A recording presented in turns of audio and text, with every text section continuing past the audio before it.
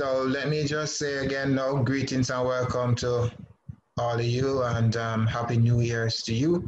Um, if it's not too late to say that. Um, a housekeeping, this meeting is being recorded and um, we'll ask persons to keep their mics muted. And of course, there will be two popular phrases or, or comments that will, will be echoed. Um, remember, you're still muted, or remember to unmute when you're going to speak, right?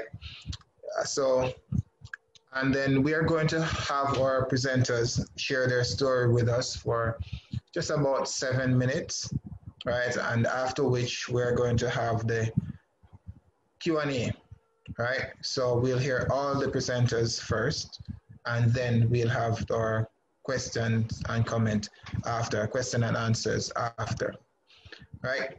So 2020, a big sigh. Every year we typically, every year typically has its own defining moments. But 2020 brought so much global changes that many of us never thought we would have reached the point where we are now. But here we are in 2021. With a pandemic still ranging, 2020 had waves of social changes swirling around the globe, local and international, um, general elections, storms, hurricanes, wars, rumors of wars. We thought that it was would have been World War III with America and Iran. Um, we have heard about so many superstars, um, quote unquote, because we're all human beings and I think we're all stars. But um, we have heard about so many celebrities who have passed on in 2020. And so we, we really and truly are grateful to be here at this very moment. You know, personally, I lost my father, um, and I'm going to say to 2020, you know, because um, 2020 seems like the, the world was going to end, um, in my opinion. Um, so I lost my father to 2020.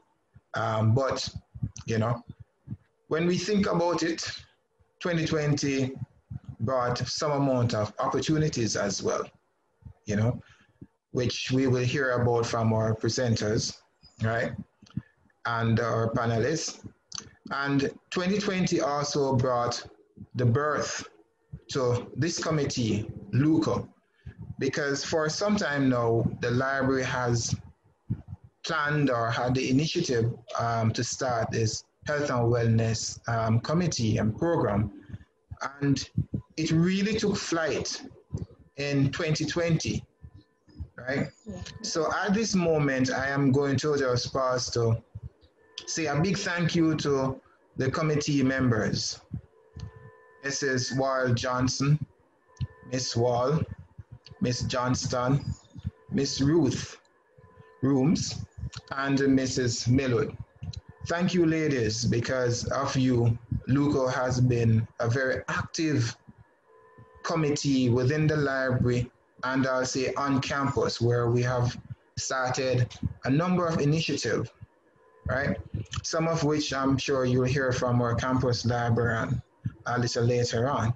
Um, but 2020 was not all that bad because we we were able to use the negativity into creativity because we took on and adopted many of the challenges, many of the circumstances that were thrown at us, and we turned it around to work in our favor and for the benefit of others, right?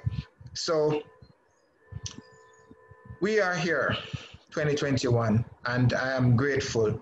And I welcome you again um, for being here with us. Um, so I'm quite sure we are going to be in for a treat. In our usual and customary manner, it is always the right start, the right precedent to start off our proceedings with a word of prayer. And for this, we'll invite our very own committee member, Ms. Ruth Rooms, to lead us in prayers. And after Ms. Rooms, we're going to hear from our campus librarian who will bring us greetings. All right. A pleasant morning, everyone, and welcome to all. Let us pray. Father, we just want to thank you, Lord, for who you are. You are an amazing God. And the thing about you is that whatever it is that the devil means for evil, you always turn it into good to halt us anyway in our destiny and we are grateful. And so the devil is a loser with that. We thank you for what we're going to be discussing today. All the positives and some negatives, but all the positives that came out irrespective of the pandemic in 2020. Forgive us of our sins, cleanse us from all unrighteousness, God and allow us to have a productive time amongst each other. Let your name be glorified. We welcome you in our midst. In Jesus' name. Amen. Amen. Thank Amen. you. Okay. So, um, good morning to everybody. Morning. Good morning to all our colleagues in the library. Good morning to our those who are presenting or presenters, those who are online who may not necessarily be members of the library community. My very, very, very best wishes to everybody for a blessed and productive and safe 2021. Can't ever leave out that when we're talking about this time. Um, even though we are still in the, the mode of the pandemic, I want to say that I am grateful for the, the opportunity to reflect because this is what a new year does. It gives us an opportunity to reflect on where we have been and where we want to go. And it allows us to put in place, um, with God's help, our plans and how we can make things things different and better. And I am very, very grateful to, to the, I, I said in my greetings yesterday to the staff, to the very energetic, I call them energetic um, health and wellness team led by Mr. Heron for um, really allowing us to reflect on different aspects of our health and our wellness during last year.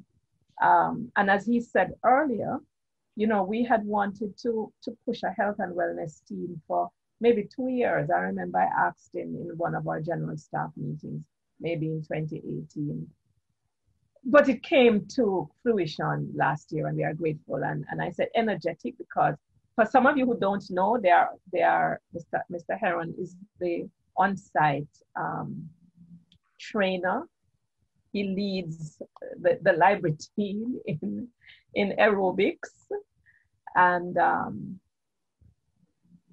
in addition to that, we have had a number of webinars which I I find that they, they have been so impactful. Um, most of us would have received different things from the different webinars.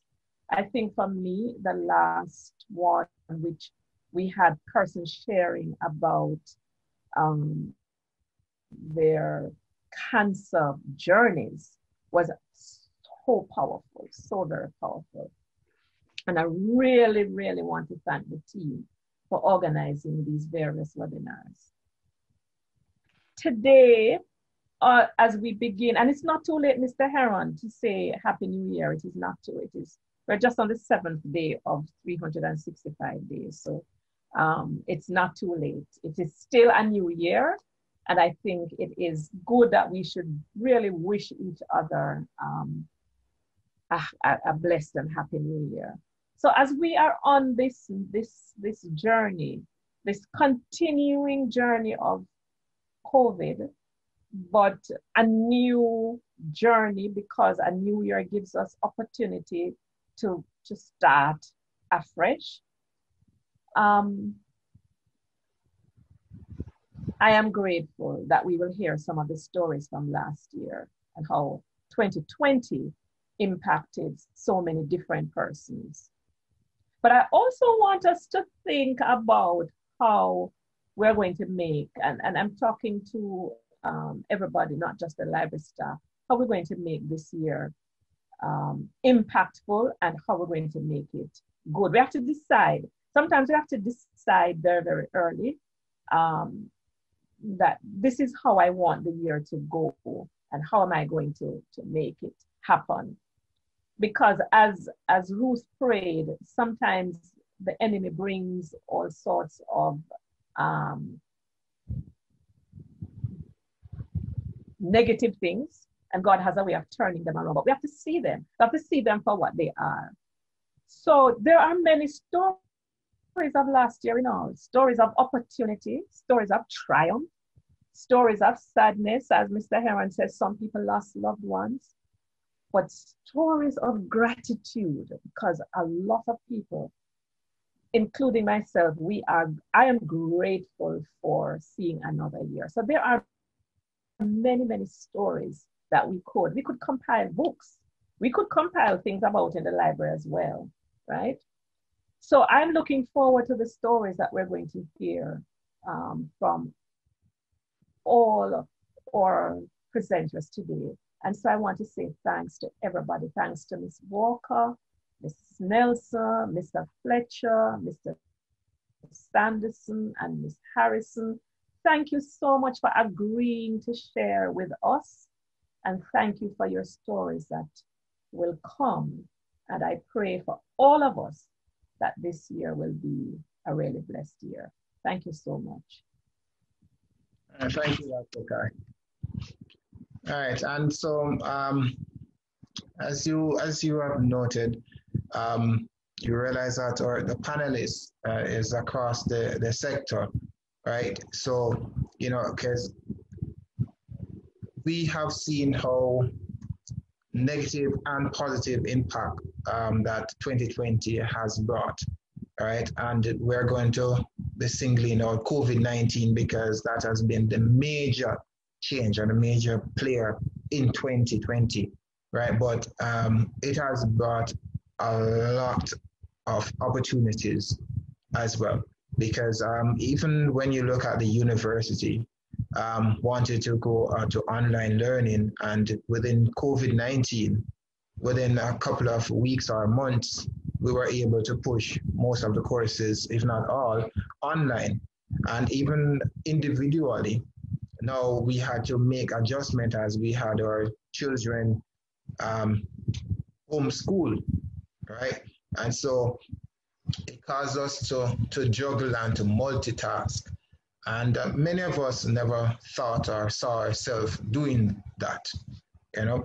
But I am going to stop my talking because I have the persons here who will share their story, and that is why we are here, right? So our first speaker who will be sharing the story is our very own um, Mrs. Nelson.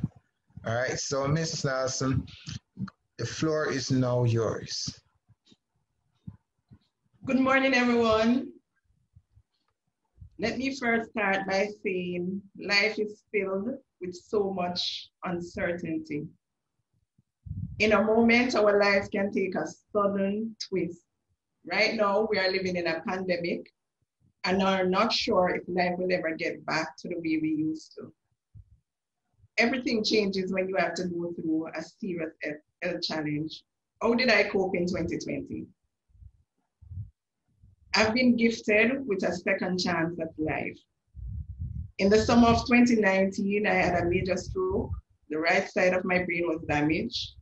I was unable to walk. My fine motor skills and balance were impaired, but the goodness of God brought me through. I was away from work for six months.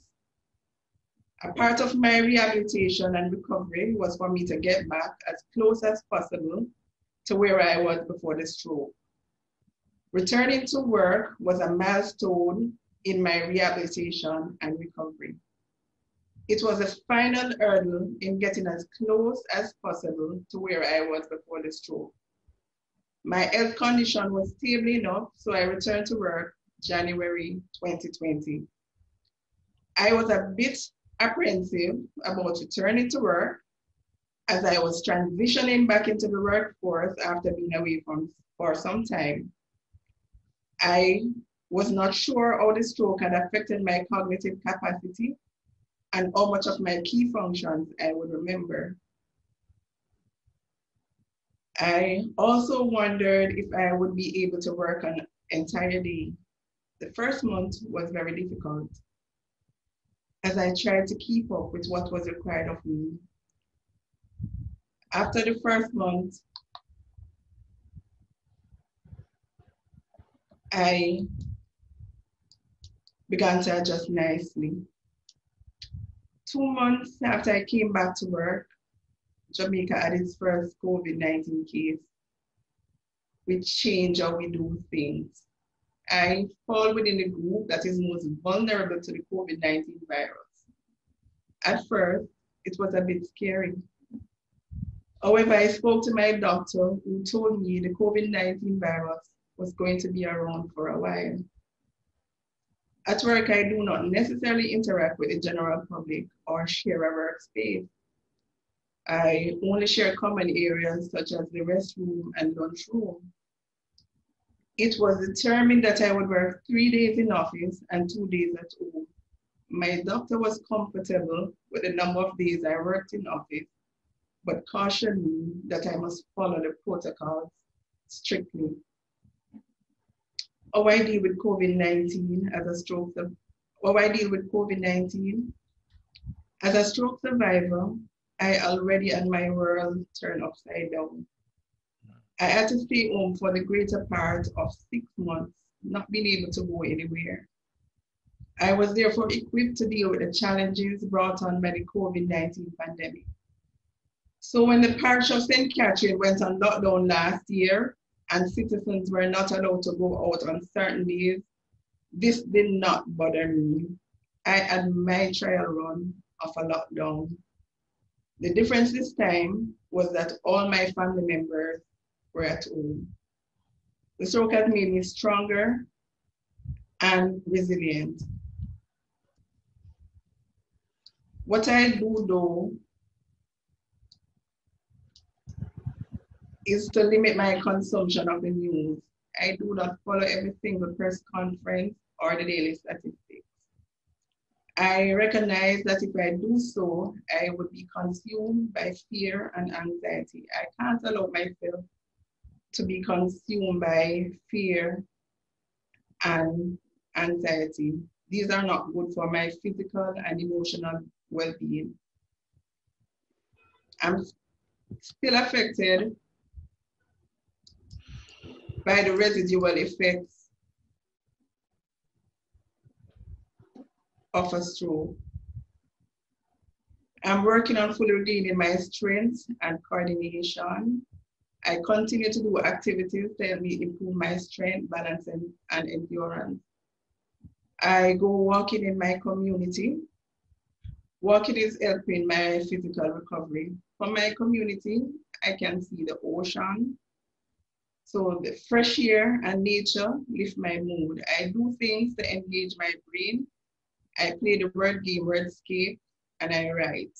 I also listen to inspirational sermons and music. I still can't do simple tasks like eating with a knife and fork, pouring my ear. Sometimes things fall out of my hand and I avoid difficult driving conditions like driving during peak hour. The impairment that is not quite visible to everyone is fatigue. I get tired easily and have to remind myself to slow down. I, however, do not allow myself to focus on my limitations and what I can do. Each new day inspires me to be grateful for each new day and every breath I take. I release my fears into God's hands. It is God who has brought me this far, and I trust Him to lead me all the way. I have learned not to take the simple things in life for granted, like the ability to just get up and go where I want. Brushing close to death and going through recovery made me realize how fragile life is. Someone once said, Destiny is not created by the shoes we wear, but the steps we take. Let's make the journey of life meaningful and memorable. Let's be let's be kind to one another as we walk this way of life. In closing, COVID-19 is no joke. Let us do everything we possibly can to keep safe. Thank you for allowing me to share my story. Wow. Oh, thank you, Ms. Nelson, Mrs. Nelson. I, I tell you because um, we, some of us might be aware of your story, but um, the depth of it, um, I must say that we, we were not aware of. And these are these are the things that we talk about um, and try to promote um, in the library. You know, make sure that persons be respectful of others because you just don't know what the other person is facing. You just don't know what the other person is going through. So, you know, um, we were sharing um, Dr. Miss Nurse Saunders. Uh, you're welcome, Nurse. Um, we were sharing Nurse Saunders and I just earlier um, about the simple things that people just need to do to slow the spread of COVID 19 because I might feel healthy and strong and, and feel like, okay, well, I'm good, you know, but are we thinking about others? And which is what 2020 has brought, you know, for us to be considerate to others, you know. So thank you, Ms. Nelson. Um, I said, we'll, we'll have some questions coming up um, after all the presenters. And so at this moment, we'll turn to Nurse Saunders um, to share with us. Hello, good morning, everyone. Good morning to my fellow panelists, um, to the ULI committee, and everyone as well joined the, the, this discussion. Um, 2020, COVID-19, some some experiences and um, a very very mixed year for for me. You know, um, I entered the year being a, a new nurse uh, at, at, the University Hospital of the West Indies. Currently in orientation when when 2020 came in. Shortly after that, then you know, I believe it was January going into February here and talks about COVID 19 and it being in China and what's happening over there. Then by the end of February, you know, I'm hearing that you know, I'm selected. I'm told I'm selected to be a part of um, you know, team of nurses to care for COVID-19 patients. And at that time, I'm like, whoa, um, I'm a new nurse. I'm thinking all kind of stuff. Um, so I was, it was kind of uh, uh, what should I say? I wasn't really into it at, at, the beginning, but after thinking about it, you know, knowing that these persons would need my my um, expertise and my professional care, and you know, I'll be helping them to as much as possible be in a in a better position or bring back to where they where they were previously. And my mind changed. I got excited. I wanted to you know, experience all that, provide care. And then there was a positive case. So very shortly after completing orientation, about two weeks, you know, I am in the, the position of, of caring for COVID-19 positive patients. It was, well, first, first of all, after, after meeting the first set of patients, I think we had patient one to patient three at the time. And at that time, I, I was shocked. I, I didn't, I, I found out that you can have COVID 19 and you're like perfectly fine. You may have um, fever, little cough, and, and so forth. You're, you're not in a critical or dying position. And I was like, whoa, you know, and the, the, the um, patients there, they are very cooperative, and um, that was a good, good, good experience. But outside of that, though, you know, it's an era where you have to take the necessary um, PPE measures. So the first day of work, you know, I was there trying to recall exactly how the, the, the procedure was in terms of donning your, your PPEs and, and doffing the PPEs, you know, and they, well, there were guidelines there to, to help in that. So you're like checking yourself as you go along, attending to patients, you know, you have to be um, like watching yourself. You have to be um, conscious of what, what you're doing, checking if you, you might have a, a breach in, in your seal and everything, your mask. So, you know, you have to provide care, but in the meantime, you're still checking checking yourself. And eventually it got it got better. You, you, you know, I got more comfortable in, in what I'm doing. You know, know that I am just properly, everything is going well. And um the the time where things got very, very difficult, very difficult. You have persons presenting with um, severe respiratory um, problems. You know, they, they can't breathe by themselves, they need oxygen, they can't help themselves. And you're in there trying to do, well, do your best as possible to, to bring them um, to a more stable and um, better position.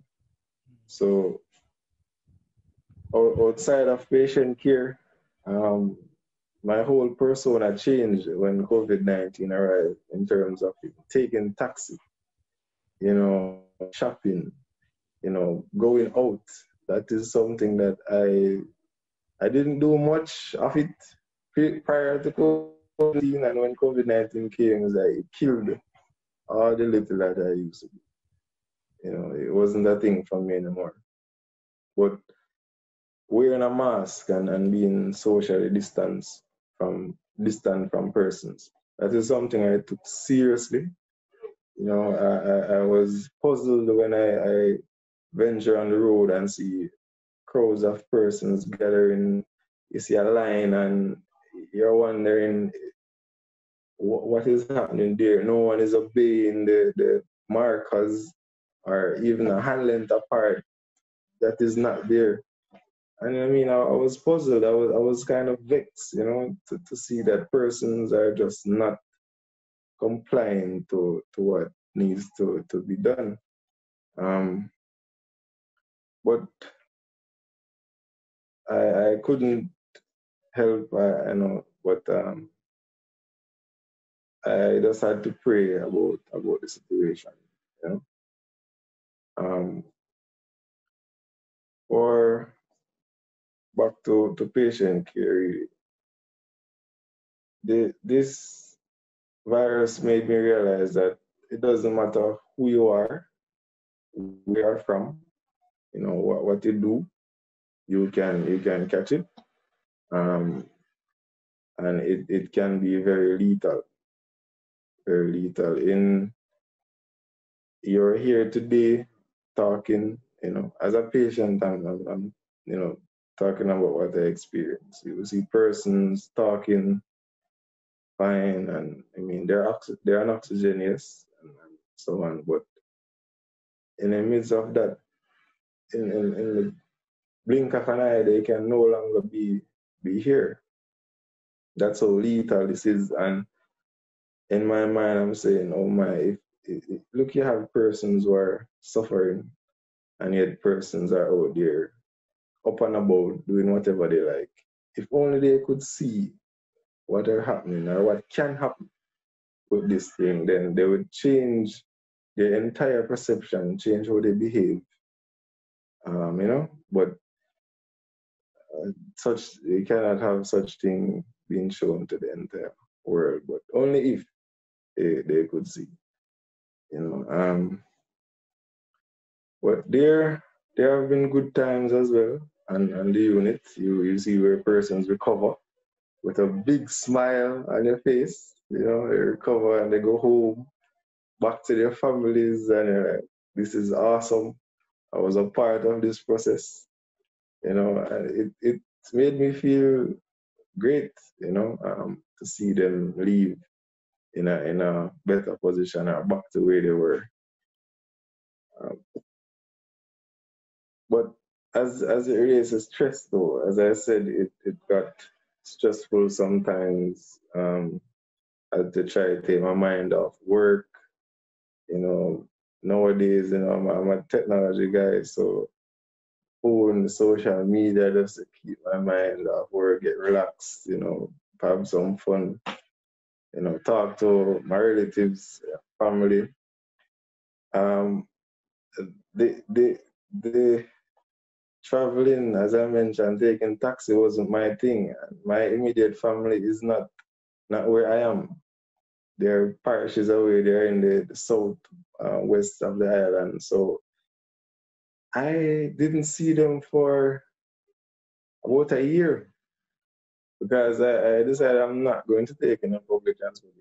Knowing how Jamaicans taxi or bus operators are, that cars are packed and the buses are packed, and I would not be a part of that. I'm saying if I'm working in a unit and I haven't contracted the virus, I would, I, it would destroy me mentally to go out on the road and, and, and contract the virus. So I didn't take any public transportation. Um, how I actually visited my parents or my immediate family was, you know, via Knutsford Expressway. To me, that was a more safer route. You know, um, it took me a while to visit them, but it actually drew me closer to my family. I've gotten closer to my family this year because you know um, the idea of losing them, you know, it it pondered, I pondered on it, and it, it, it hit me harder than any time before. You know, so I, I got close with them. That is one thing I can look back at and say this year has done this for me, and um, but um, I'm happy about that. You know, um, that's that's pretty much um, my my experiences throughout the year. Um, I, I well questions and answers probably can get some more out of me, but uh, as for now, uh, that's pretty much my story of the year 2020 and uh, COVID 19. Thank you, Nurse Saunders, um, because um, you you have raised a number of interesting pointers. Because one in particular, I remember um, the Ministry of Health himself um, had to come out and ask persons, especially the taxi drivers, to stop discriminating against the nurses. You know, the the very persons who are tending to our needs um, can't go home when when work is done. Um, so I know um, based on that story, it must have been very frightening. And as you rightly said, you know, um, avoiding the public transportation because, you know, um, us as Jamaicans, sometimes just take things for granted um, so easily. We just like we're so naive about it. Um, we just really don't care. And so I'm glad that you, as someone who was, who was in the, the first-hand experience of COVID-19, um, who have seen the impact of it, and all those persons who are asymptomatic, um, you know, you just don't know. You just don't know. You know, so we we definitely will have to take the necessary precautions. That this that last year had me thinking a lot, thinking hard about owning my own vehicle at um, this point in, in, my career, and I'm not far in my career. It's challenging to own a vehicle, and I was thinking hard about that, you know, because I wanted to avoid the whole public transportation system. Right. All right. Well, thank you again. But no, right. So we are going to school. Um, it's it's 2021, so we. I was going to say to get your pens and paper for notes taking, but 2021, who needs paper and pen, right? We can save thousands of trees by using our electronic devices, right? So, Mrs. Harrison, um, you were going to tell us your story as a school teacher, high school teacher. All right, yes. Thank you, Mr. Heron. Good day, everyone. My name is Kimon Harrison, and I'm a high school mathematics teacher. And for me, I would summarize my experiences in 2020 due to the pandemic as uncharted waters. No, I'm not necessarily referring to my online classes as uncharted waters because the whole idea of online classes and creating virtual classrooms, they weren't new to me right? But it was the experience of teaching my students and knowing that I was being restricted from coming in contact with them. That phenomenon was new for me and it was new for them as well. Now, everything about the pandemic was uncharted territory, as I said before, and we're being instructed and directed about the disease by experts who, you know, in my opinion, were admitting to us at the same time that they were still learning about the virus. And then they hit us with the the biggest shock of it all for me that we were being told to physically distance ourselves from each other. And I don't know about y'all, but I was not prepared for that at all. I can do a week or two without going out and seeing someone. I mean, I can even, I even need a month or two during the summer, you know, to get a break from my students. Short periods I could handle. But after months of just being at home and only having virtual sessions with my students, I was over it. I wanted school to be opened. I want, I, want, I even wanted to send out my own children to school so that they could go and interact with their friends. I wanted to go out every day, go to work, see my coworkers. I, I even wanted to see some of my students, some of my students who I'd missed dearly. I wanted to see them. I just wanted normalcy back to my life, right?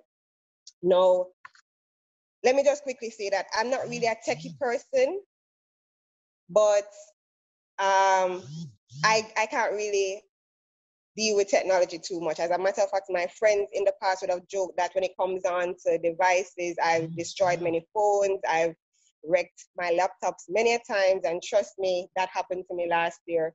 But none of that I made that, I didn't make any of that daunt me because I could manage the online classes. I have done online courses before. I have worked with IT persons in terms of creating online modules and so forth like that, you know, all with the, the notion that if students were missing anything, they were absent from school, they were able to have this platform to obtain any course content and so on. So, you know, in some sort of way, I thought that I would have been prepared for this virtual school. And the concept and the idea of online classes in my mind has its place. And, you know, the education sector does need it in relation to being there with technology. And I know it's something that the sector itself would have wanted, but somehow we weren't ready for this. And I know we've heard the, the testimony of students, parents, teachers, administrators, both here in Jamaica internationally.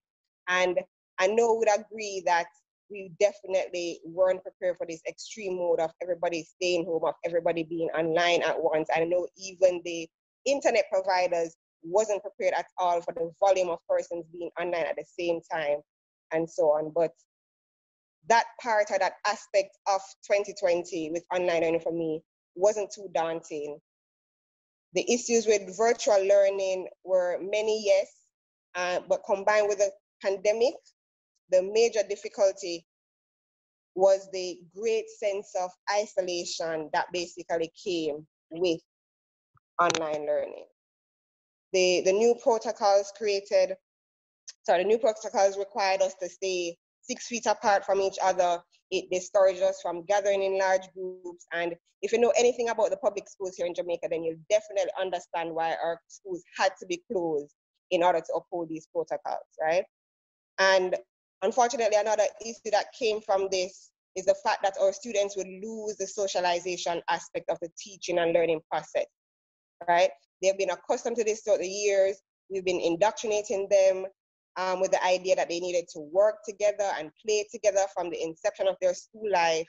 And then, you know, three months into 2020, we were now saying to them that their physical interactions with each other would be restricted, that they would have to give up some of their freedoms while, you know, scientists figured out this whole virus. And the worst thing is that on top of that, we were telling them that they needed to still take responsibility for their own learning amidst the fears of the, the pandemic itself. Like I said, it was uncharted waters. It was a lot for me to deal with. It was a lot for my students to deal with. And even thinking about as a parent, as a mother being home with my own children, it was a lot for me to handle both my school children as well as my children that were here at home. But in regards to my students, you know, despite the, the device issues that they had, the internet problems, and even the regular power cuts, there were students who were dealing with other issues, social anxiety, depression, loneliness. You know, there were students who were present online for classes. They wouldn't miss any of the sessions. If you spoke to them at the end of the day, they would just break down. There will be parents also who would call. They would call early in the mornings, in the nights, over the weekend. They, they just needed some help, some suggestion on how to deal with the emotional issues that their children were facing. I mean, I and I could not deal with this. I honestly had to reach out to the chaplain and the guidance counselors at my school a few times for their assistance. As honestly, I only did one college psychology course and it did not sufficiently prepare me for this at all. Did not prepare me for this uncharted waters that I was wading in for months now, and I needed help. So yes, they'd get the help. They'd kind of take the summertime to recoup, to come back again and starting the new school year online in September, October, I had to revise all lesson plans. I had to take in consideration that on some days that I wouldn't be teaching any math concept to my students. Some sessions we just talked, we relaxed our minds, and we even took some time to meditate on the word of God. It was all necessary some days right? I honestly spent most of my sessions in 2020, you know, encouraging students that we would get through this together than actually teaching them math. I wasn't too concerned with whether my classes were behind. I was more focused on ensuring that everyone was in good spirits. Because trust me, whenever my students were struggling with an issue, it affected me emotionally as well. If they cried, then I cried my students know that I'm an emotional person. Mm. If they laughed, then all is well. I will be laughing along with them. And trust me, there were days that we were just not going to be doing any math work. We were just going to be there for each other. And I had to tell myself that, you know what, whenever they were ready to learn, that's when I was ready to teach. So, ladies and gentlemen, that's basically it. That's that, that was my story. That's my experience that was my uncharted waters for 2020. I thank you for listening. Yes, and, and thank you, Mrs. Harrison, because um, what, what, what the world, I'm, I'm not even going to single out Jamaica, what the world needed in 2020 was more togetherness, yeah. um, more, more affection, um, you know, because as I said, there are so many, so many rumors of wars around the place, and even our children needed to be loved. And with COVID 19, we are now being forced not to. Um, to huggy huggy and to touchy touchy and you know you know that, that I can only imagine what it would have been like for the children, you know, because um, they needed socialization right? So many persons might think that you know going to school is just to take what copy what is on the blackboard but the whole aspect of it is being able to physically run up and down and to socialize with their peers you know? So um, later on in the q&a um, i'd like to hear from you as it regards to the curriculum because you know um, okay. as you said you had to rethink and redo your your, your classroom lessons you know? So i'd like to hear from you later on um, about the curriculum you know? So thank you very much for sharing yeah? And uh, up next you know we we have our musician or artist um, mr fletcher i think um, the, the music industry has suffered somewhat of a major blow um, with the hotel industry um, coming to an halt and um, no major gathering. How, how, how has it been for you, uh, Mr. Fletcher? Well, for me, first weekend, good day, everyone. Uh, very grateful to be here to share my experience of from last year until present. Um, it's been a tough one. However, as I said, life prevails. We have to live through it and uh, dead man tell no tales. Once being alive, we give God thanks, and we have to do what we have to do. And see, you know, waiting another year, 2021, however, going back to 2020, my last tour as a musician um, was with Alborosie, because Al- Alborosie is an Italian artist who lives in Jamaica and is band leader, musical director. We did a tour of the US for four weeks, and towards the latter part of March, we're hearing about COVID, and then coming back to Jamaica, I should have gone back again in June. You know, touring Europe, what we normally do, touring the US. But of course, you get it more and more that COVID is here, and the world is just getting bigger, bigger, bigger, and bigger and bigger. However, the reality of the situation is that uh, touring, you have to have an audience. We've had like a live audience. We tour here, there. I've toured with Shaggy in the past for a couple of years well. We've had audiences around the globe and all of that. But the reality is, even with him, things have majorly changed. I've done work with him since being in Jamaica like I did his Christmas special in December gone, Shaggy and all that. But the reality is, with a lot of artists, production is where it is at home because there's no more touring. Touring has stopped. The reality is you can't say you're going to leave here to go into the US or Europe on a tour because the promoters have stopped booking. Uh, all the concert venues are closed. Everything shut down because the reality is it's gathering. And it's just been a chain reaction in terms of here now, not being able to travel, then you have to turn to plan B. Because the writer is a touring musician doesn't get paid monthly, like a nine to five worker. Touring musicians basically when you work, that's when you get paid. When you don't work, you're pretty much on your own. But persons um, that love to go to concerts, love to want to see this artist, see that artist, wherever. It's not only in our reggae genre, it's global no matter what type of artist you are, musician or producer, everybody's experiencing it because it's, it's, a, it's a chain effect. It's a ripple effect right across the whole entire globe. Um, for me now, not being able to travel because of know, shows, well, what I've been doing is like turning to like some part-time teaching. I've been doing some studio production like with Dean Fraser, working on his album we just finished having Christmas. I did some stuff with Shaggy also. and I did some stuff previously with Albert But um, the ones who I feel it more so is for like the younger musicians. Some of them who have just graduated from Edna Manley College, left out. Some of them trying in their early 20s, trying to say, yeah man, I'm gonna go on and get it. But here, here's a full stop. Say, you're not going nowhere. You're back here in Jamaica. Do what has to be done here. So I know a lot of persons have to be turned to alternative careers. Maybe what was their hobby is now their full-time career. And having to to to to do something with yourself differently, I, I don't think nothing for for granted. Um, no time soon. I don't see doors opening up for any type of touring. What is happening now is virtual shows.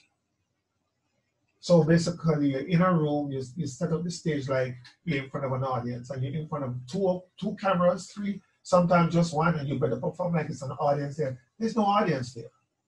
That would Reggae Sumfest, uh, Reggae Sunsplash, and a couple of other things. So basically, what I call it is if you watch TVJ on a Wednesday morning where you see some live artists perform with their bands, I call it a bigger version of a TVJ performance. That's the reality. Now, the key thing is, is there any, any income from the virtual shows? None. So far. Sometimes they have to be dependent on sponsors. The sponsors only can do so much and no more. I know personally that a lot of artists are feeling it. It's not an easy road. Um, is there is that is there an answer for it? No. Because it's everybody has come together now. It's a balance right across the border. If you're rich, you're poor, black, white, brown, COVID has doesn't discriminate.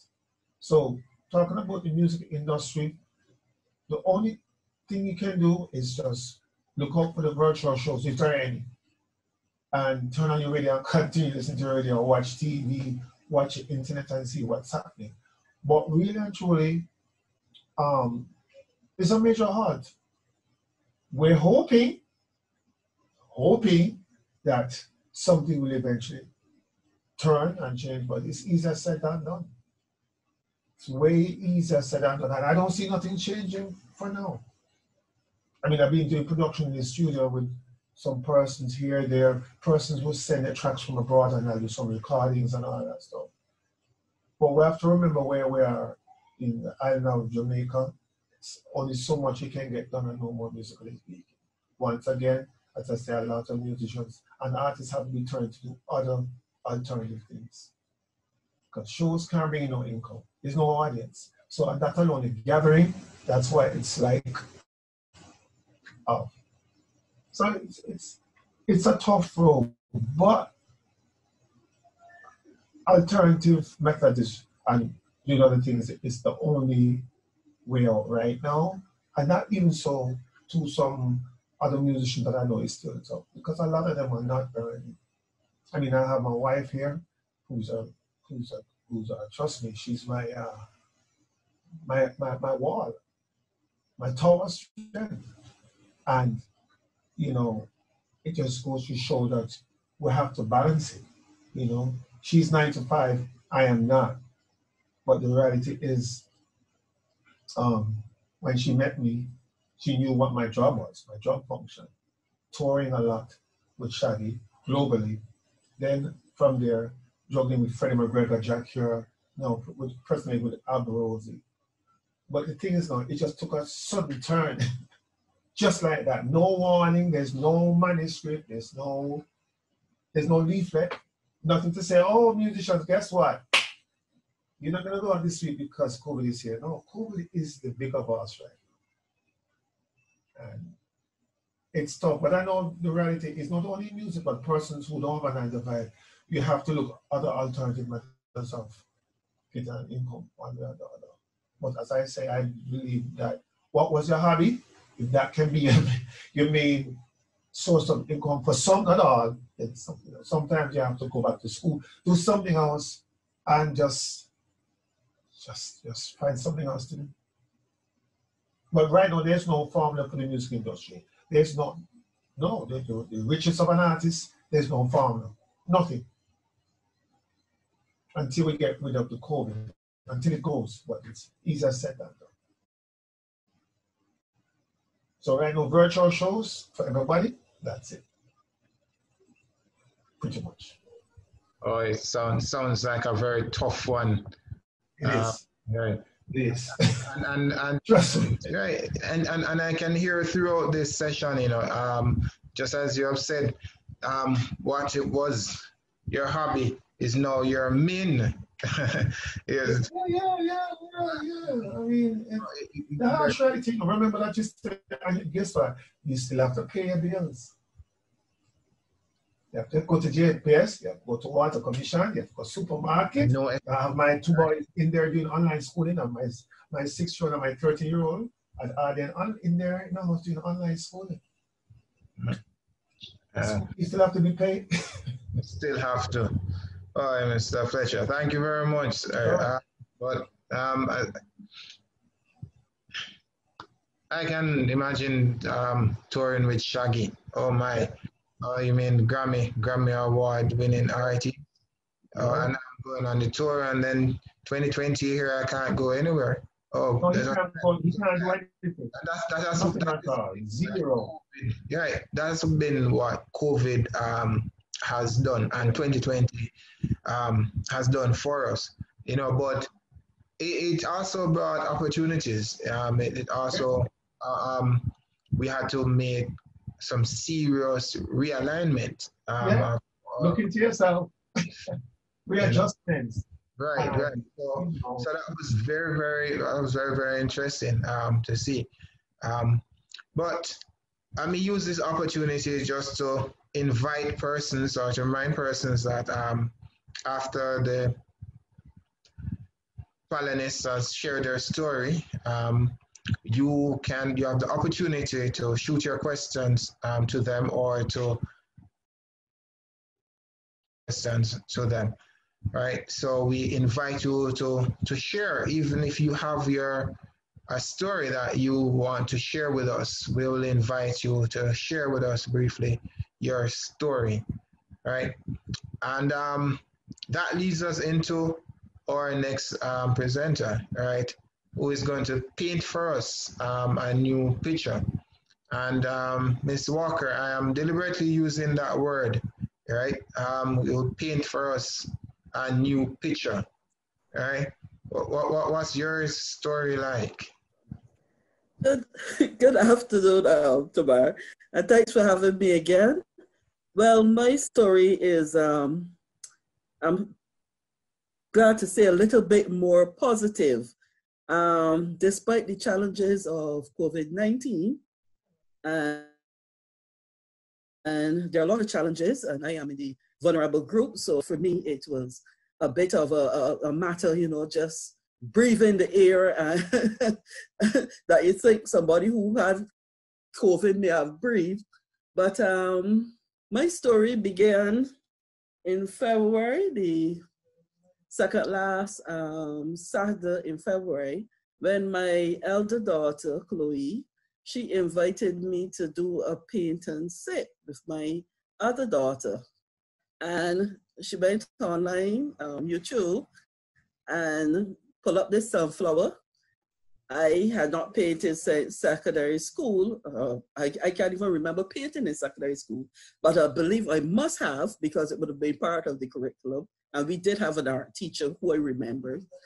So we painted a sunflower, and that sunflower took me the whole night into the four day morning.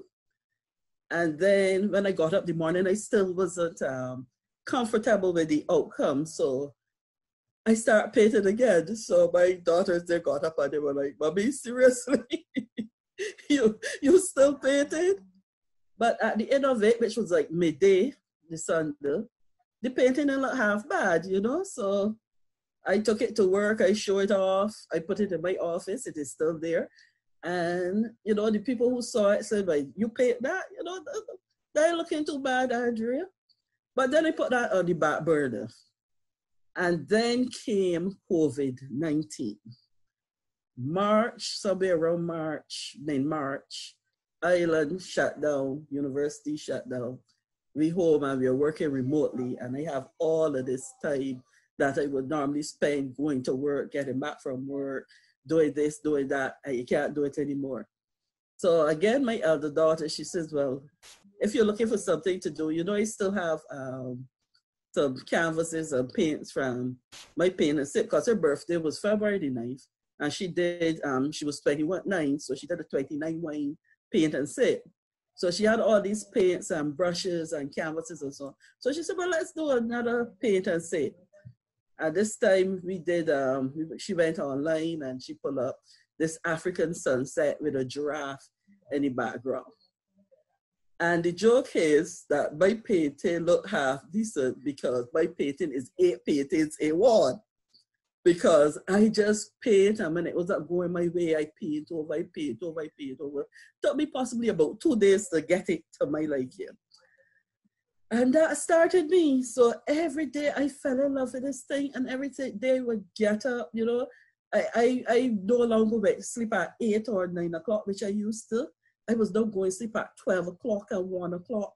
And then 5 o'clock in the morning, 4.30, 5 o'clock, I back up and I paint it because I want to paint before my work starts and I want to paint after it. You know, it finished.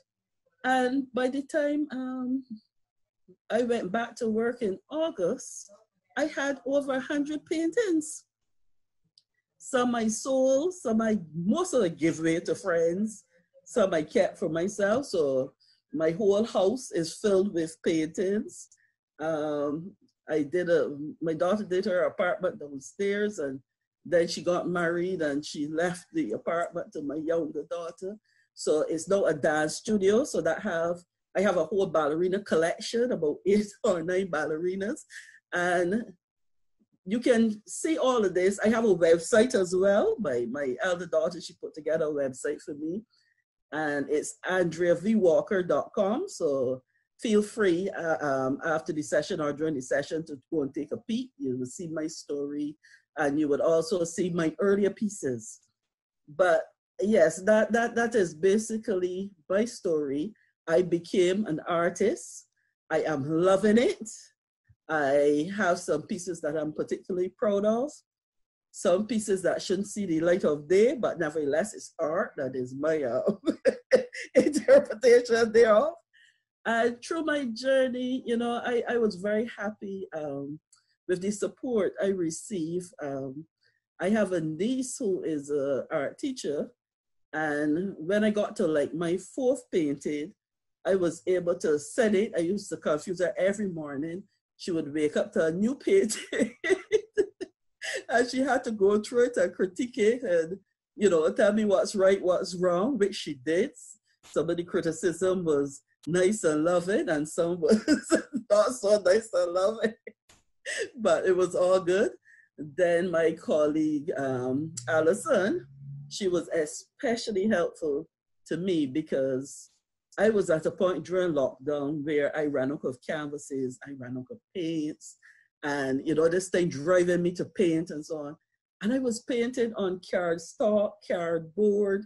Um, there was a few books i took off the backs and i paint on them. And when i contacted her she, she laughed and she said man i got a few canvases and a few paints. I can help you. Send somebody for them. So that got me going in. And then what she did as well was send me the contact number to um, the art hub, this guy Jeff, who would deliver. Well, not suffice to say, Jeff was my best friend during quarantine. He was at my house sometimes every week. I won't tell you how much I put out for, for, for those paints because it was at a point in time when my children wanted to hide my debit card and they want to give me give me access to anybody because I was just buying canvases and buying paints and so on. But um, the truth is, it, it, it took me through that period.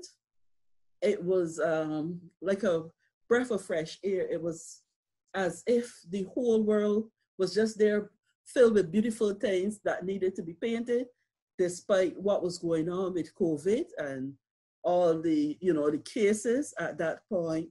somewhere, um, I think it's in March, April as well.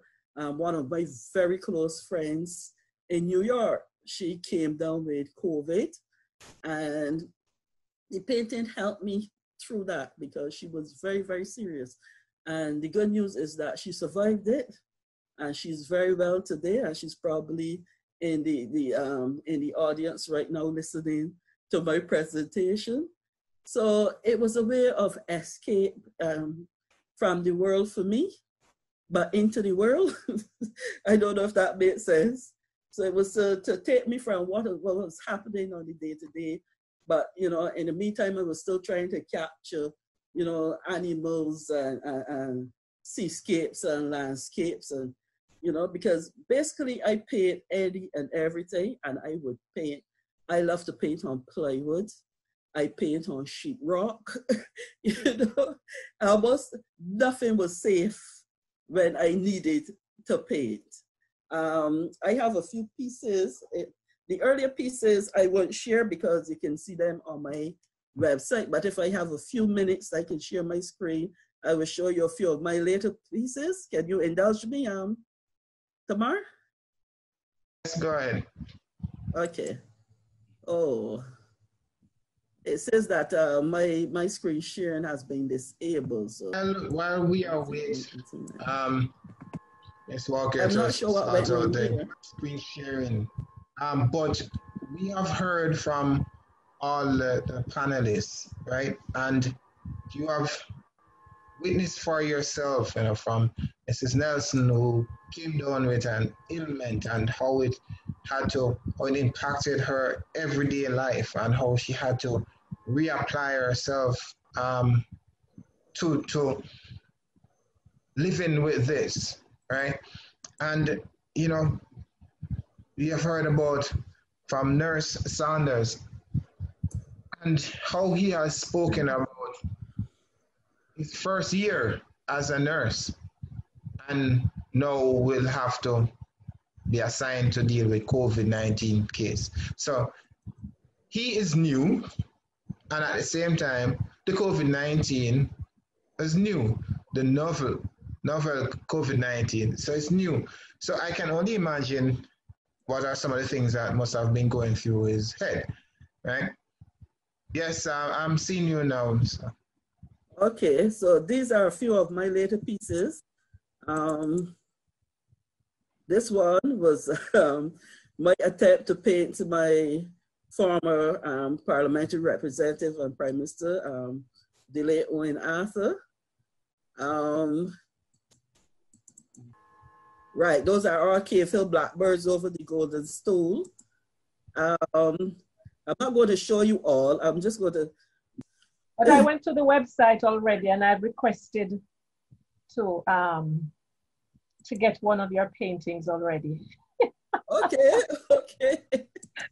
That's perfect. Um, I'm not sure what's happening, so I won't keep you all back.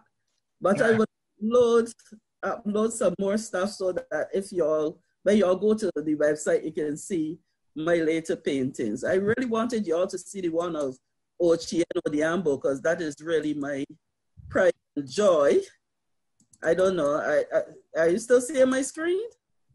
Um, no. Um, okay. but um, can you right, just give up on that? Remind us of your of the website again, so persons can get to visit your website and right. view your paintings. Okay, it is Andrea V Walker. One word, Andrea V Walker dot com. Okay. I yeah, I have gone through it already. Beautiful. Beautiful, beautiful art. Beautiful. I think this is your, your daughter who has placed it in the chat for us. Excellent work. Okay, well, thank her. Thank her very much. yes. All right. So, thank you, Andrea. Um, as you, as you have heard, you know, so you see that 2020 has not been all bad, right? You see how it has forced us as human beings, you know, to adapt you know, um, this pandemic um, has really and truly changed. We had to change our mindset. in going forward and dealing with, with, with COVID-19.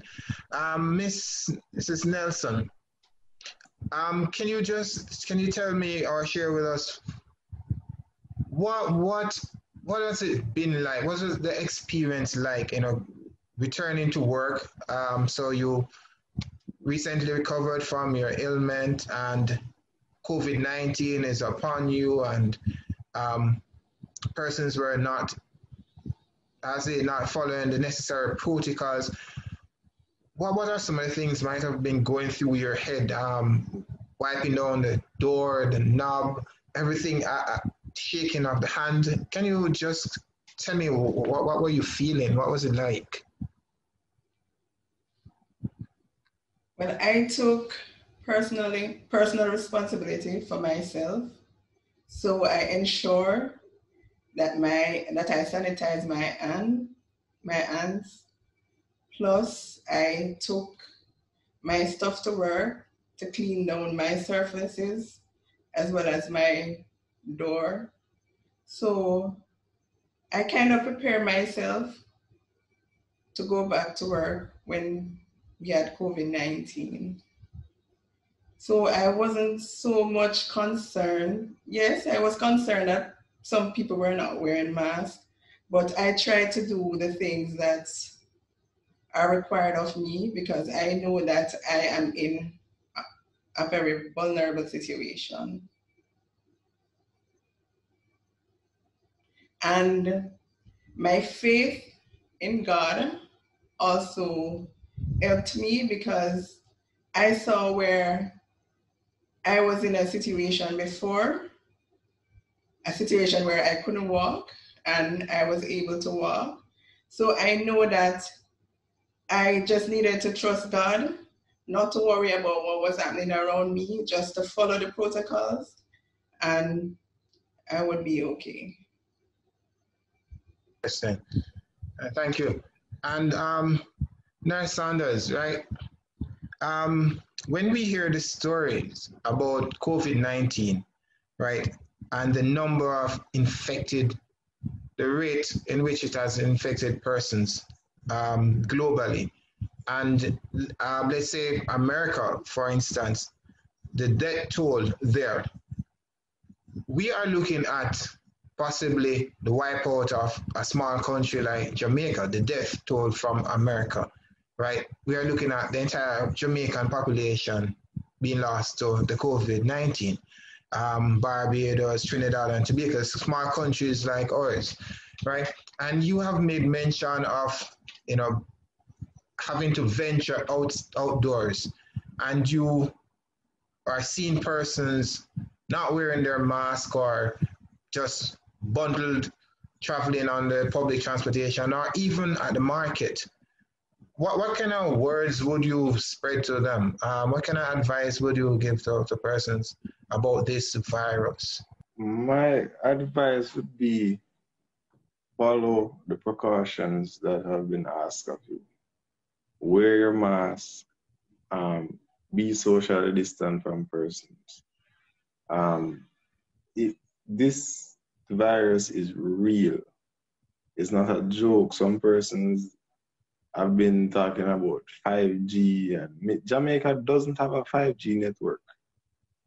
There's no five, we don't even have 4G LTE properly over the entire island. Right? And there are persons thinking all kind of stuff. And it is it is real persons are getting ill, persons have died, persons are dying, you know, persons are struggling to be alive. Um, so it's not a fake thing, no one is making this up you know, asking please wear a mask, um, sanitize your hand, wash your hand, travel with your hand sanitizers. As I believe uh, many persons and some persons have been doing that. You know, don't don't take it light, please. Okay. So you so you see, because um, one of the things is that it doesn't affect me. I really don't care. I just want to party. I just want to party. Jamaica is all about party, party, party, right? And we like to have a good vibe. But um, I think it would be in our best interest if we could just wait a while um, and see if we can slow the spread of this virus so we can get on with our normal life, quote unquote, because um, I'm not quite sure what our new normal life will be like going forward um, with this new strain coming out. There, the, the thing with with um, some Jamaicans, you know, the the ones who are fortunate, um, well, the ones who are not that easily affected would be young persons, persons without underlying symptoms, and those are most of the persons who, as you see, want to party and you know up and above. So they may not that that category or my category of, of um, persons in my category, age category, would not necessarily have or feel the effect of it as it relates to signs and symptoms. But mm-hmm. there are persons in a in an older category, you know, or who are even not old, but they have underlying symptoms. They may they may look quite fine. I'm, I, I may look quite fine, but not saying that I do. But you can tell that I have an underlying symptom. I mean condition, right. and they take it for granted, and that is that is not good. You have young persons who have um, passed away, you know, and you would have never thought that hey, that person would have passed away. You have, you have old, you have persons in every area, pregnant, um, you know. So I think we, we need to really sit and um, think within ourselves uh, do we do we want a country where we can see our, our friends our family as, as the year goes on or do we want to let a virus come and wipe us out and I, I know of one person um, here with us who would not like for this virus to linger um, because, as she said, she likes to ball. Right? She's a cry cry teacher sort of a person.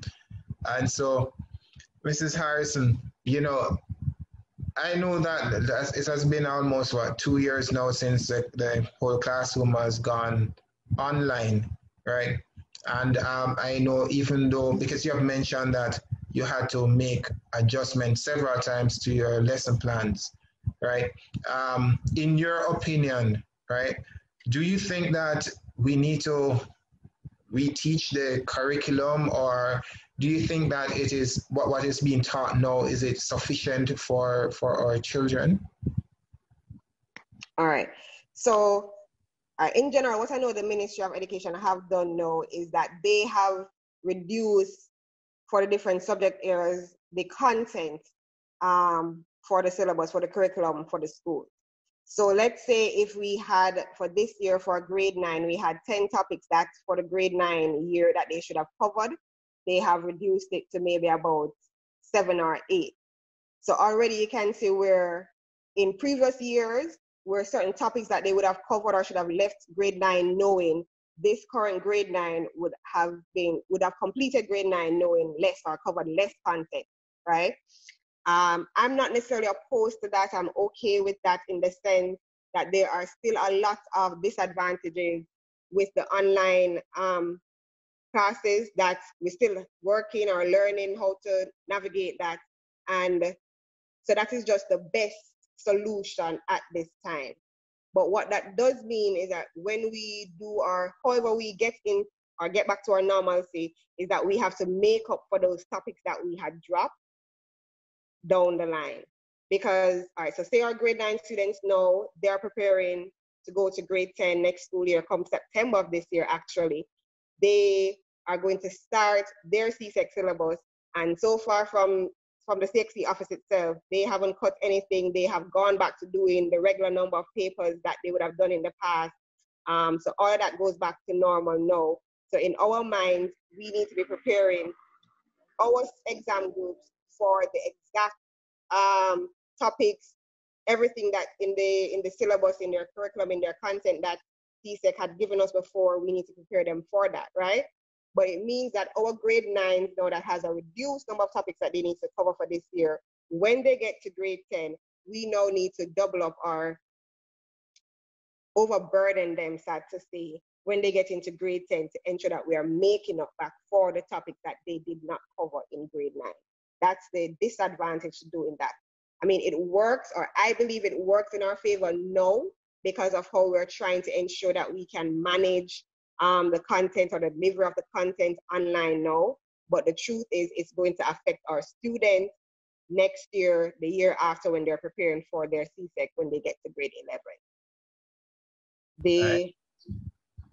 I'm trying to remember the first the first part of the question in relation to. Oh, remind me of the first part of the question. If it's about, you have actually answered because we're, I was just really thinking whether we need to reteach the, the, the curriculum okay. In itself. But um, but you have you have answered it by stating that they have reduced the numbers mm-hmm. that they would have normally taught, teach over the, the period. So from 10 to 8. So I guess in a sense that um, then that will be sufficient. But you know, I'm still concerned because if CXC has not changed the numbers of topics or exams that they will be mm-hmm. doing, then the children has a lot to catch up on. Right, they're at a disadvantage where that is concerned, and I'm thinking also from from the CXC board, from their position, they still want to have themselves um, being ranked or rated as a top examination body. So mm. they don't want to put themselves in a position where even though you know all the stakeholders will kind of understand based on this pandemic, they don't want to necessarily water down their exam. So at this point, they don't want to make that change. Mm-hmm. But the truth is, our students are going to feel the pressure of that because you will have the weaker students who were already struggling to finish a curriculum under normal circumstances and then know they are going to have to while they're at home while they're doing their online classes and while they're probably even struggling even more to understand all this content they are being forced now to still cover all of that content on their own so to speak because of this online learning so really from any way take it our mm. students are the ones that are going to feel the end of that I'm sorry because you you you raised an interesting point um, that stood out with me, um, where you said that you had to sometimes discard your lesson plan for the day and um, and attend to the, the students um, mm-hmm. of um, academics. Um, mm-hmm. What do you mean by that? All right, let me point out by saying that under normal circumstances, teachers we would do that so you go into a class and you realize that a student is not responding as how he or she would normally. But the thing is, you would probably continue with your lesson and then maybe after class or after school, draw them away and you know sort of deal with that issue. Or you might they might not be feeling well and you send them to the nurse.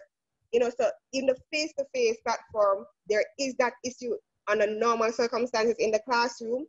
But mm-hmm. now that it is online, you will realize that sometimes it, you, can't, you can't ignore it. You can't wait until the end. You can't just um, send them to the nurse or send them to the guidance counselor and have that person deal with that individual. It somehow now forces you with the online medium to ensure that everybody is together, is with you. And then there are just so many other different distractors that you might as well just hold off on the lesson plan for a while, try to deal with the issue, try to let everybody be calm because it might, it well, from my experience with this online learning, it's always a matter of the, the social aspect of it. Miss, I'm just overwhelmed. Miss, I just need help. I just need somebody to talk to. And then no, when you get the, the the 20 out of them coming together and talking, you actually get more out of them than if I was trying to say, okay, can somebody do question number one for me? And then you just hear silence. So sometimes you have to do that for their social and emotional well-being. But the truth is, it's something or it's issues that I have been faced with face to face. But the truth is, we could have always dealt with it in terms of okay, you can go to the guidance counselor, you can go to the nurse, or I will speak to you after class. But in the online medium, because most of them are the ones that are really feeling lonely and don't have anybody to talk to. Some of them are even at home alone because their parents still gone out to work or the you know the bigger siblings have in their own little corner doing their online classes. So sometimes you really just need to stop to do that for their own emotional well-being. Uh, at, at, this time, before I, I, would say that I wouldn't want to be a teacher, not to, because of the whole stress level that comes with it and the different personality that a teacher would have to have to deal with different students. And even more so now, um, I must applaud you for the excellent job that you are you're doing. Um, Thank you. And Mr. Fletcher, um, Mr. Fletcher, I know you're a superstar, you know, in the eyes, um, touring Europe and um, all these celebrities and doing all these things. But as you may mention off earlier, um, COVID-19 is here to stay, right? And so for you, 2021, what does it bring for you? Um, what, what, what, what can they, what can we look forward to um, from you in 2021? Seems like we lost Mr. Fletcher. All right. Um, so Andrea, I, I, I know I will be receiving a painting from you.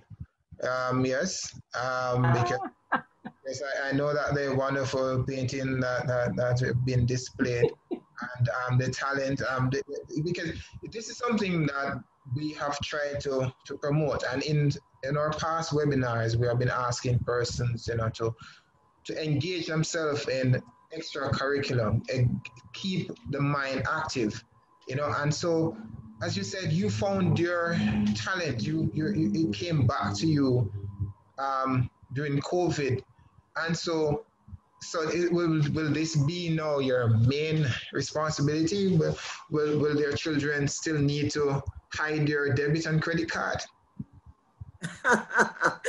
no it's been paid for itself wonderful wonderful but a long time ago definitely Yes. COVID has been good to me. I, I, I almost ashamed to say, but yes. uh, they don't have to hide anything anymore.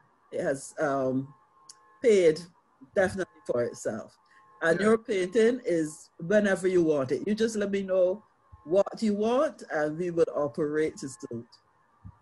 I usually um, I give each one of my colleagues actually a birthday gift last year from the time I started to pay, the first one was in May, and I went right down to December the 25th, and then I went back up to the, the ones who would not have been covered by me being an artist. So everyone in my office, I think there are about eight, nine people, everyone received a painting for their birthday last year. So I am very generous. I love to paint. I run out of space to keep them. I don't have any more walls to put them.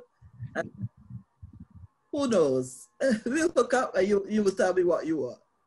I, I, saw in one of your paintings where you had um, the, the new the new faculty. Um, no, no, that's the African Golden Stool.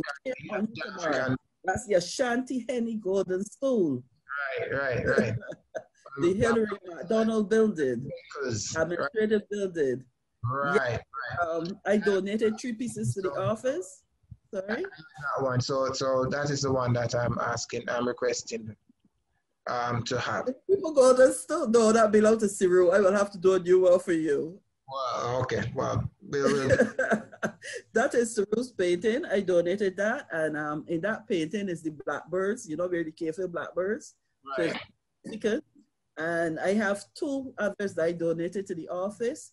I call them Pelican Pride. It's um a pelican outside the clock tower upon the old administrative block.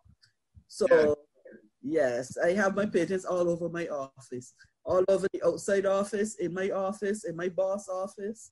Because I give her, um, I donated for when she came back to work. She was off for a, a year's leave, sabbatical. So yes.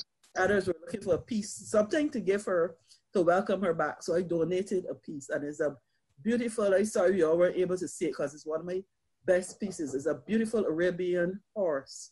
Just the portrait of it. Website? It's a day for. Beautiful. Um, I've been visiting their website, so I'll yes, definitely. I will update it. I have been very delinquent. Yeah. Um, ever since I went back to work in August, I have not had the chance to. I've been busy painting. I'm not so much of a website you know, editor so person right now, even though my main um, job is IT and I do data, so you won't believe it. But when I'm home, it is to get away from all of that and just get the, the canvas and paints and paint. So I will update my website so you can see my, my, my pieces and you will tell me if you still want the golden stool or if you want something else. All right, will do. Will do. Thank you. yes. So, um, remember we're open and we're coming down to the closing. And so I'll remind persons if they have any questions um, for the panelists that they can do so just now. All right. Um, on, let me invite um, all the panelists to share, share, you know, their last word with us. Um, what, what, what, what can we look forward to in 2021? Um, you personally, what, what, what, what do you see? Dr. Kerr made mention of planning for these things early. And so, you know, what, what, what is, what, what can we look forward to in 2021? So when next we meet, um, we will be saying something different. So, Ms. Nelson, um, you want to start off with us? Um, what, what, what's your word that you would like to leave with us? I would like to say remain positive. COVID 19 seems not to be going anywhere for now. And we should just follow the protocols and keep ourselves safe. For me, all that matters is each breath that I take. For me, everything else is fringe benefits. Wow. That's and that's something that, that we take so much for granted. Um, not knowing it, we just take things for granted, not knowing that there are persons out there who are just grateful to wake up. You know, um, so Nurse Saunders, um, you know, you said that your your family or relatives are in another parish. Um, and so for 2021, um, what, what, what's, uh, what, what's happening with you in 2021? What, what's your word that you would like to leave with us for 2021? Stay, stay positive, as Ms. Nelson had mentioned. Um, don't, don't think of Corona as a, a burden, really. Just take your the necessary precautions. Um, don't don't take it for granted, even though you don't want to take it as a burden. But don't take it for granted that um you there you you having any sign or symptom of it, you know, or you know your friend or somebody and they, they look fine. Don't take it for granted that they, they don't have um, COVID nineteen. Um, for for me, it's to you know, continue what, what I'm doing, my, my work, um, continue to do my best in, in the area, um, keep a closer, get a um, much more closer connection with my family as much as possible, and keep it up. Um, and just to survive through the year, you know. There have been talks of, well, not talks, confirmed um, new new strain in in UK so it's something to um, something to, to, to be on the minds of persons. You know, it, it may reach here. It does not reach here for as far as we know, um, but it's a possibility. And um, we must still be aware that COVID is, is still here and do our best to not contract and spread spread it so we can have a better year. You know, um, there has been a rise um, in the, have been a, a, significant rise in the delivery online shopping. Um, industry, and that is something that is good in my view. You know, you, you can order, you can do banking, all those kind of stuff uh, more efficiently online, and it prevents you from going out. Um, for working class persons, that can be uh, more you know, um, convenient for for them, and that's a good thing that I've seen in the year 2020, and I believe it will progressively increase in 2021. Thank you very much, sir. Um, Dr. Kerr, you have your hand up.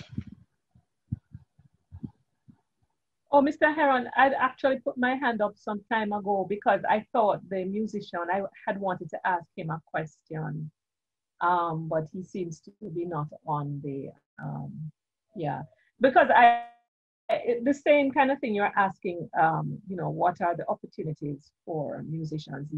Can they actually charge for, um, you know, these these virtual concerts. I think I saw where one um, did charge, but I, I'm not, not sure of what are the opportunities that are there. I, I had that. We seem to have lost um, Dr. Kerr just now.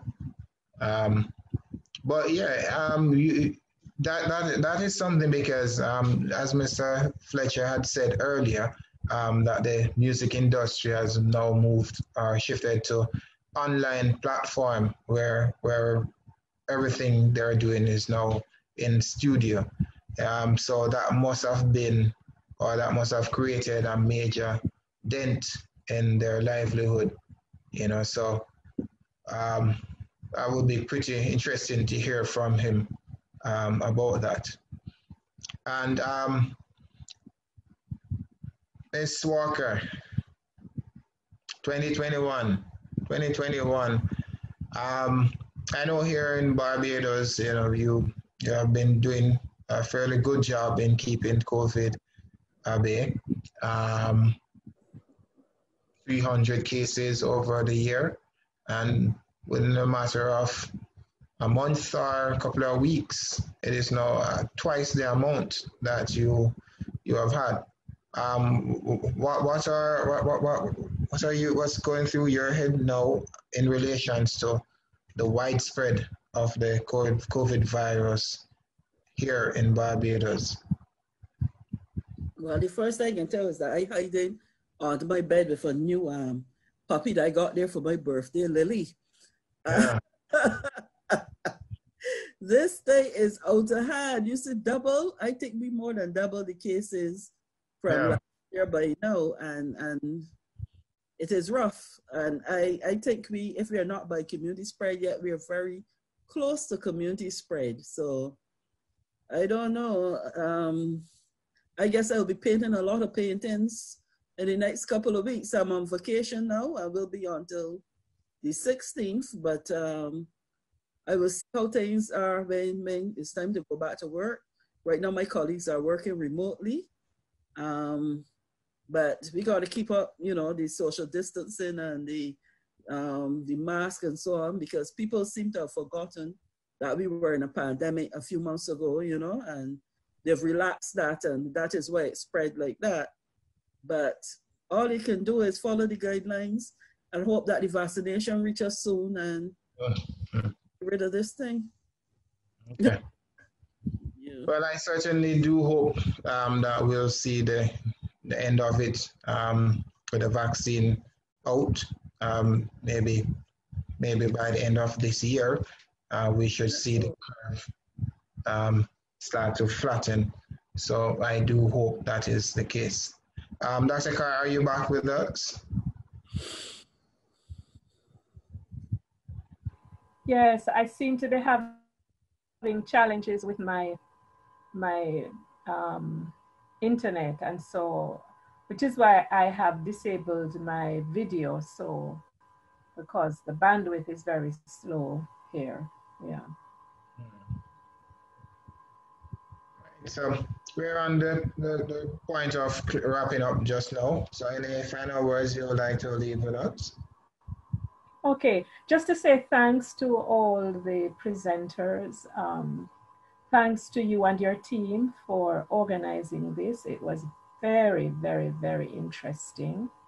Um, I think I had questions for, for um, I had jotted down questions for our teacher as well, but I think you asked the question. Mm. Um, I'm looking at my list here because I had I had been putting questions down when people were. Um, I had wanted to ask uh, Mr. Sanderson um, whether he actually experienced um, any deaths, but we're at the end, so it's it's okay. Um, but I want to say thanks. This was very very interesting, and of course I'm going to be getting a piece of art from Miss Walker. Um, and she's promised to give me a birthday rate since my birthday was just two weeks ago. So I'm looking forward to that. But it was good, and I liked the fact that there is there is hope. Um, there's hope from Mrs. Nelson um, because I think she she demonstrated such strength, you know, um, having the challenges that she had, but she demonstrated a lot of strength and she worked her output was, was excellent during the time. So we have to give thanks and there is hope for our, our, our students. There is hope for the, how we approach the pandemic. There is hope that we can find alternative things to do. And art is definitely one. People can write um, poetry, um, they can make music, um, you know, there is so much. And for us in the library, we have seen innovation at the highest during the pandemic. We some of the things that we we thought we wouldn't have been able to do, um, we did.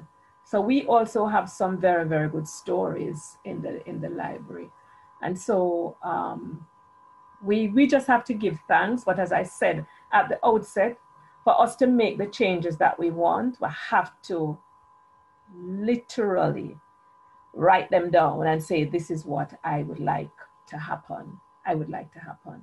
And I think for the health and wellness team as well, what are the areas that we would want to focus on for, for staff and for the rest of the staff as well. So thank you all.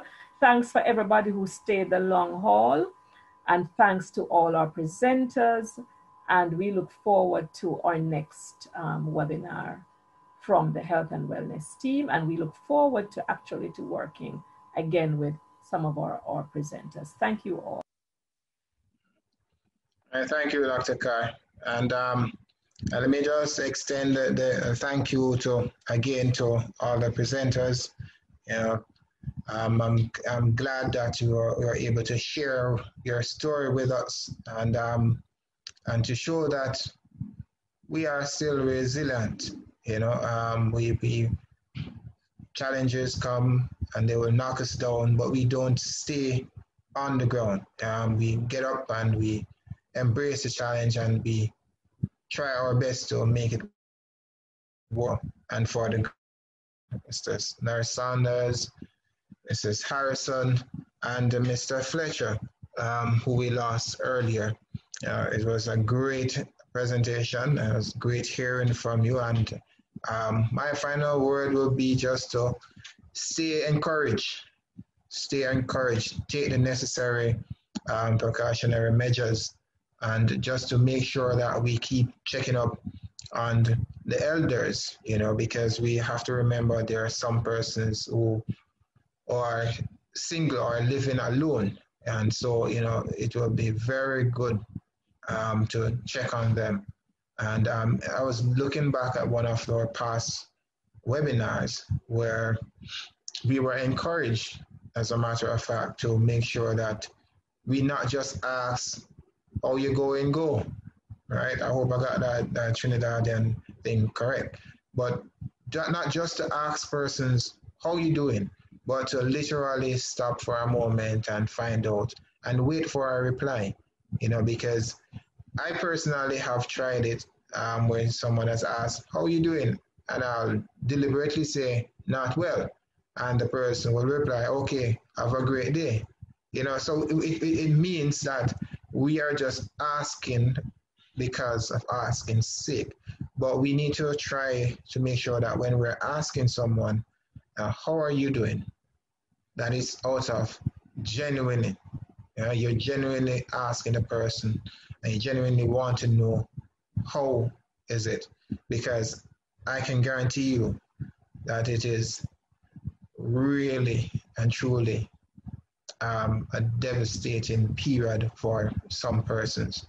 And yes, there are those who have rise above the challenges, but there are those also that are unable to make it on their own. And so, once again, I thank you all for staying and thank you for being here and for participating.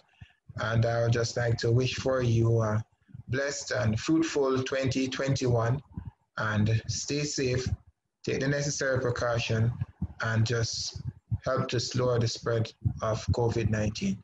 So, thank you all for being here again, and stay tuned for what we have coming up next. All right. Thank you again.